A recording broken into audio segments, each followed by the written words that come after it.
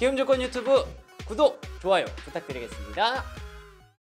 네, 앵커 리포트 시작하도록 하겠습니다. 지금 방금 전에도 제가 댓글창을 보다가 어, 좀 많이 궁금해하시는 부분의 얘기들이 좀 있는 것 같습니다. 지금 우리의 대표적인 성장주로 얘기가 되고 있는 네이버와 카카오, 특히 네이버가 좀 빠르게 조정을 보이면서 이거 좀 어떻게 해야, 되, 해야 되나요? 라는 부분의 얘기들을 좀 많이 하고 계시는데 어, 핵심은 이건 것 같습니다. 성장주가 더 계속해서 오를까? 아니면은 오히려 조정 시 매수 관점에서 어, 이런 종목들을 봐야 되는지 이런 점에 대한 고민을 좀 많이 하고 계시는 것 같거든요. 그 사이에 치고 올라오는 이 경기 민감주의 움직임.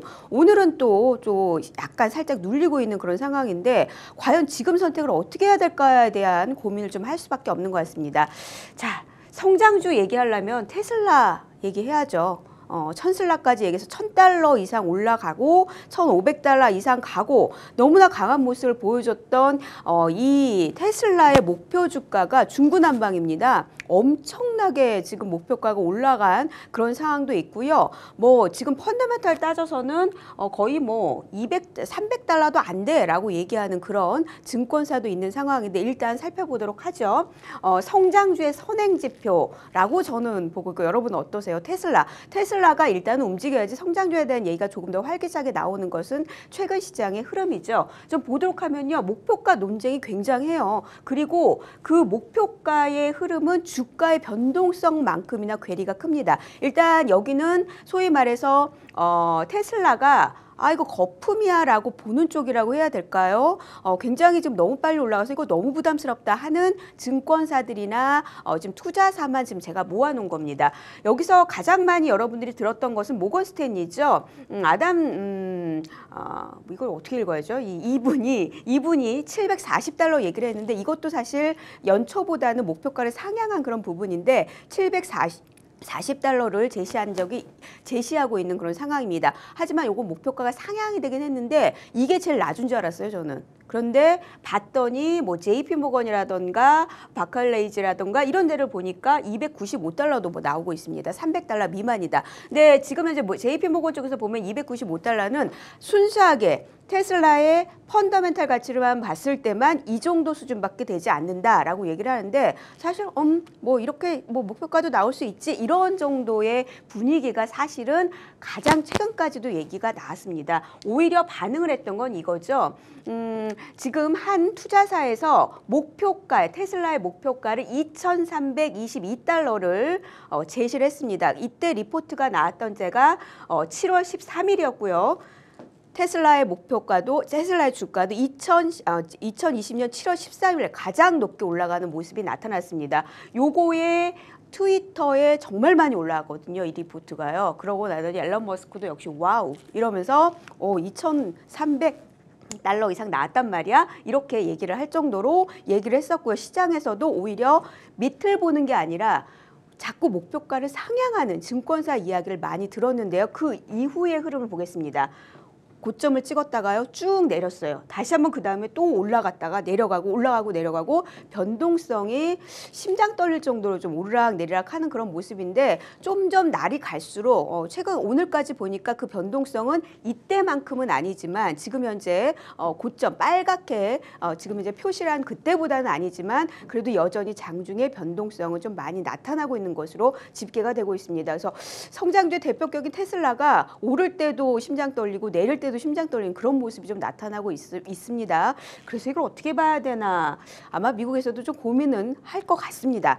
자 그런 와중에 나왔던 얘기가 바로 코로나 백신 개발 기대입니다. 오히려 이렇게 어, 어, 지금 테슬라가 미국에서 변동성이 크며 위로와 아래로 많이 흔들릴 때 오히려 크게 상승폭을 잡아갔던 종목이 있죠. 첫 번째가 모더나. 모더나의 백신 개발과 관련 기대감은 사실 자, 어, 모더나 측에서 3월인가요? 그때 언제였죠? 어, 이미 나왔던 얘기였습니다. 이미 나왔던 얘기를 일단 과학자, 어, 소위 말해서 전문가가 확인을 해준 거죠. 전원 어, 효과가 있었고 그런 부분에 대해서 어, 과학 잡지나 의학 잡지를 통해서 지금 이 부분을 인정을 해준 겁니다. 앞으로의 갈 길은 많은데 이 점에 대해서 다시 한번 크게 환호하는 그런 모습으로 코로나 백신 랠리라고 할 정도로 이 변동성이 흔들리고 마음이 흔들리는 그런 부분들을 잡아주는 역할을 미국에서 지금 하고 있는 상황이죠. 그리고 오늘 같은 경우에는 어, 지금 제네카 쪽에서 나온 부분 역시 영국에서 나온 얘기였는데요. 임상시험 곧 돌입할 것이다 라고 얘기를 하면서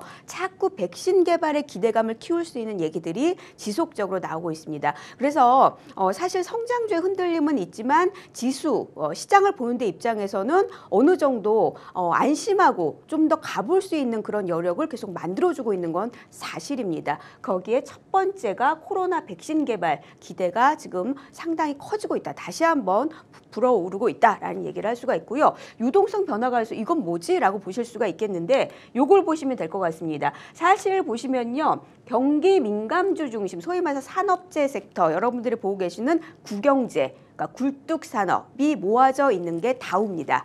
그리고 성장주, 기술주 중심에 있는 게 나스닥인데요. 볼 것도 없습니다. 장기 차트로 보시게 되면은 기술주 중심의 나스닥 이만큼 올랐습니다.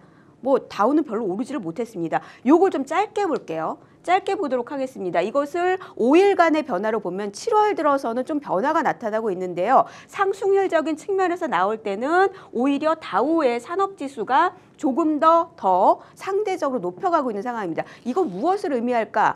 다시 말씀드리지만 다우존스 공업지수는요 구경제 굴뚝주 중심의 구성 종목이 많은 것으로 잘 알려져 있습니다. 이쪽이 지금 움직이고 있다는 얘기를 다시 한번 해볼 수가 있고요. 기술주 중심의 나스닥 성장주 쪽의 종목들은 좀 탄력도가 떨어지고 있다라는 것을 표현하고 있고 이게 그대로 우리 증시에서도 좀 들어오고 있는 듯한 느낌도 많이 들고 있습니다.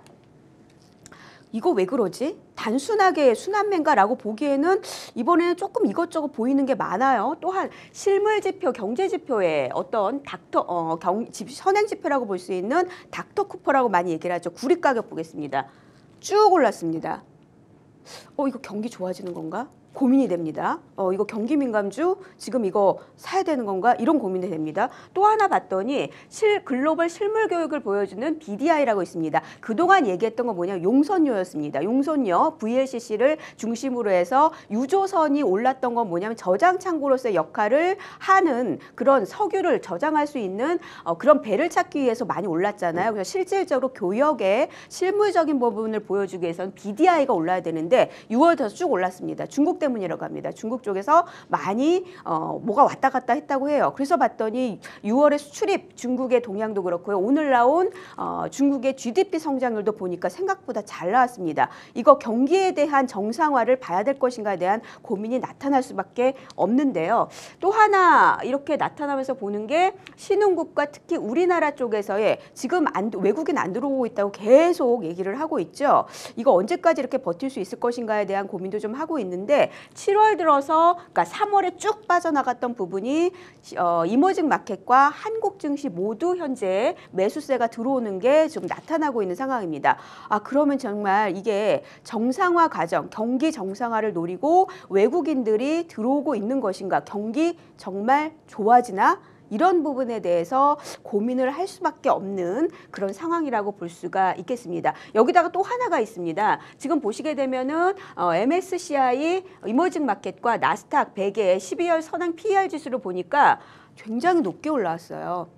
그래서 아 지금 현재 성장주와 언택트주만을 가지고 이것을 치고 올라가기에는 좀 쉽지 않을 것 같다라는 생각도 할 수밖에 없는 그런 상황입니다. 이렇게 저렇게 보더라도 소위 말해서 큰 돈 굴리고 있는 기관이나 외국인들은 부담이 될 수밖에 없는 그런 상황에서 나스닥 선진국을 본다면은 그런 상황에서 다른 데를 찾을 가능성이 있다라는 생각이 들지 않으세요? 이렇게 보시게 되면은 이런 부분도 다시 한번 체크를 하게 해보게 된다면 그동안 들어오지 않았던 한국 증시 쪽으로도 들어올 수 있을 가능성도 있고 이런 것들을 보면은 중국 쪽의 매수세가 유입이 될 수 있겠다라는 생각을 하실 수가 있게 됩니다. 근데 결, 지금으로 봐서는 이게 경기 때문이지 경기 정상화를 보고 지금 이머징 쪽으로 들어가는지는 잘 모르겠습니다.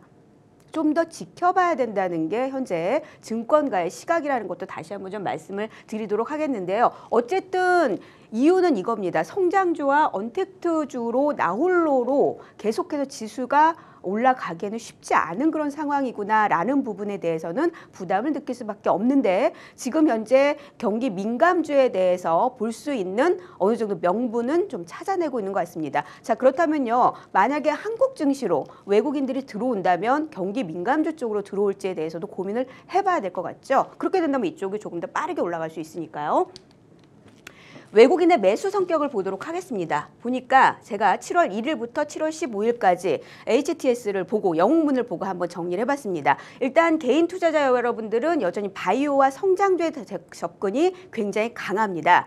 어, 그리고요 외국인들은요 삼성전자 많이 샀고요 IT 쪽 많이 샀고요 확실히 포스코라던가 KB금융이라던가 실적 좋을 거라고 보는 CJ 제일제당에 대한 매수가 있었습니다. 약간 성격은 다르죠. 근데 여기서 한 가지 보이는 것은 있습니다. 바로 SK 하이닉스, 삼성전자, 개인도 외국인도 같이 보고 있는 게 반도체라는 게 좀 눈에 띄고 있네요. 요것을 살펴보면은 경기에 대한 외국인들이 경기 정상화에 대한 기대감보다는 일단 실적은 좋은데 외국인의 경우에는요. 아직 지금 덜어로운 섹터가 지금 한국 쪽에서 어느 쪽에 있을까 봤을 때는 삼성전자를 택하고 있는 게 아닌가 싶습니다. 다시 말해서 유동성으로 한국 증시로 들어오게 된다면은 일단 삼성전자의 가능성은 있지 않겠 느냐라는 걸 여기서 볼 수가 있겠는데요. 이거는 경기라기보다는 실적은 좋은데 못 오른 종목을 찾을 때 아마 이런 패턴으로 가지 않을까 싶습니다. 여기에 대해서 좀 더 가능성을 보는 것은 바로 TSMC가 신고가 치고 가고 있다는 점입니다. 음, 사실 TSMC는요, 현재 어, 뭐라 그럴까요? 비메모리 반도체에서 지금 삼성전자도 이겨낼 정도로 글로벌 반도체 기업 중에서는 이 기업의 시총이 굉장히 높아지고 있는 상황입니다. 매력을 느낄 수밖에 없죠. 그래서 외국인 들이 집중적으로 매수를 했다고 합니다. 어, 삼성전자 매력은 지금 외국인들이 많이 느끼지를 못하나 봐요. 근데 장기적으로 봤을 때는요, 동행하는 그런 흐름들이 나타나고 있는 상황입니다. 그래서 빨간 선은 현재 삼성전자, TSMC는 깜, 어, 파란 선으로 지금 집계가 되고 있는데, 뭐, 시간차를 두고 일단, 어, 지금 현재 반도체에 대한 접근이 아시아 증시에서 이어진다면 TSMC에 이어서 일단은 삼성전자도 볼 가능성이 있다라고 보고 있는 상황입니다. 이런 거 저런 거를 좀 살펴보더라도 일단 어, 외국인들은 아시아 증시나 신흥국 증시에 들어올 어떤 여건들 명분을 찾아야 되는데 돈을 좀 들여보내고 싶었는데 그거는 경기에 대한 정상화 여기는 좀 멀었고요. 오히려 어, 실적이 좋았는데 오르지 못한 종목 쪽으로 갈 수 있다라는 점을 어, 다시 한번 좀 확인해 볼 수 있을 것 같습니다.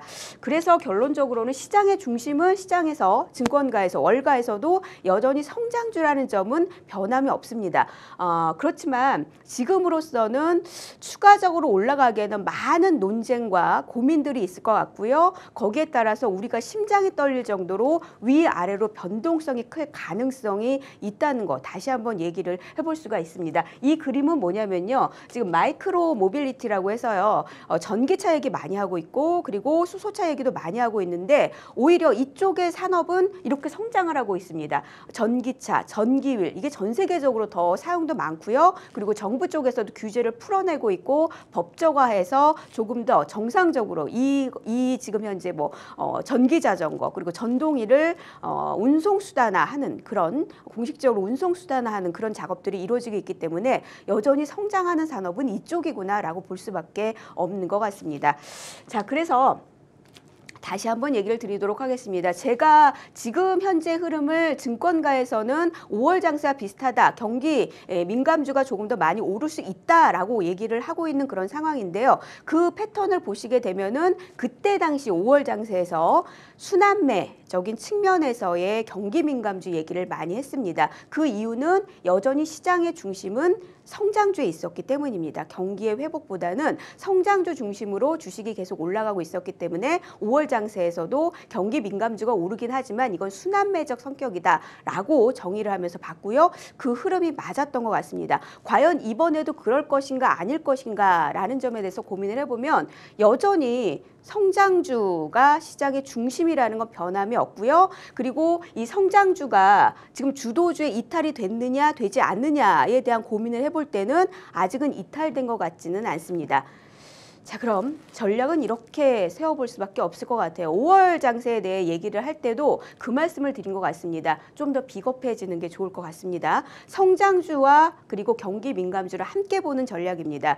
어, 성장주가 다시 한번 어, 어느 정도 조정을 받고 올라올 때를 대비해서 이 종목도 갖고 있어야 되고요. 그리고 경기 민감주가 빠르게 순환매할 가능성도 지금은 5월 장세와 똑같이 나올 가능성도 있을 것 같습니다. 그렇기 때문에 두 종목, 두 섹터를 모두 다 보는 전략으로 다만 비중 조절 어떻게 될 고민이 있을 것 같은데 그거는 여러분들이 어떤 지금 현재 어, 투자 전략을 가지고 있느냐에 따라서는 달라질 수밖에 없을 것 같거든요. 투자 성향과 그 부분에 대해서는 일단 5월도 어, 5월과 같이 7월 장세에 대해서도 이렇게 보도록 하겠습니다. 성장주도 보고 경기 민감주도 보자. 그 중에서 음, 조금 더 치고 올라오거나 조금 더 수익률을 낼 수 있는 종목들이 어떤 것들이 있는지 보면서 7월 장세는 한번 살펴보자. 이렇게 정리를 해보도록 하겠습니다. 자, 앵커 리포트 함께 살펴봤습니다. 키움에선 미국 주식 살 때 40달러 드려요. 미국 주식 투자는 키움증권에서 시작하세요. 투자 시 원금 손실에 유의하세요.